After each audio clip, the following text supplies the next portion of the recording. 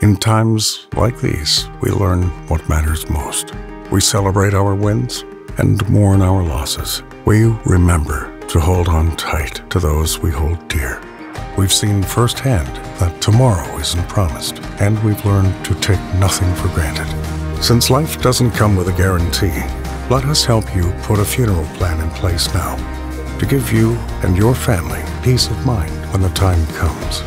Because in times like these, it's more important than ever to come together, care for one another, and find comfort from each other.